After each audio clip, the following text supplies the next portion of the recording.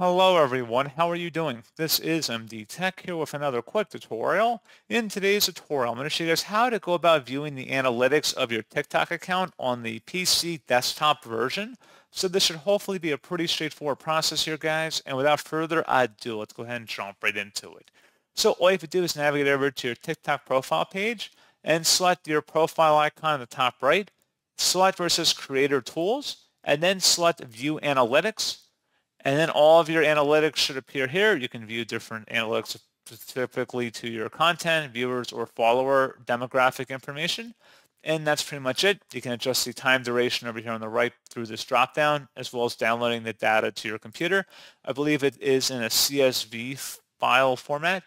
So pretty straightforward process, guys. And as always, thank you for watching. I do hope I was able to help you out, and I do look forward to catching you all in the next tutorial. Goodbye.